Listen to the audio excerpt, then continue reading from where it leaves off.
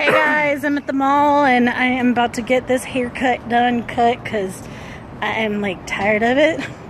Several months ago I did a chop job and I am just done. I let it grow out so I can get a decent haircut. Well, hopefully they can do something with it.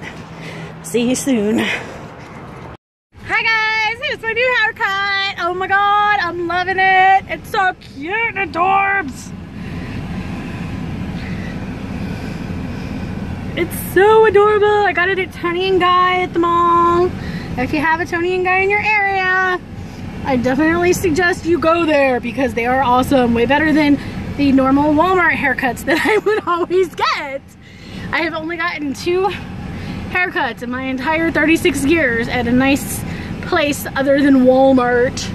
So yes, I'm, I think I'm at the age where like I need to get these decenter haircuts yeah, I can splurge. It's my birthday month, people. It's my birthday. Well, it's not my birthday today, but it's my birthday month. Oh my god, I'm choking now.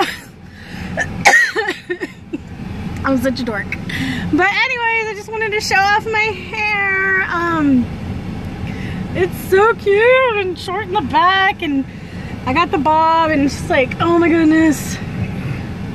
Look at how flowy cute it is.